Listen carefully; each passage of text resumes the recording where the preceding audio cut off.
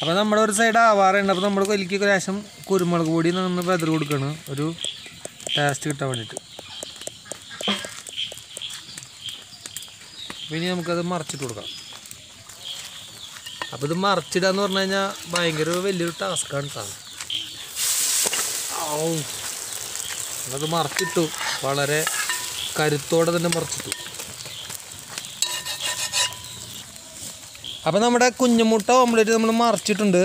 അപ്പോൾ നമുക്കത് ഇനി മാറ്റാം. പ്ലേറ്റിലേക്ക് മാറ്റാം.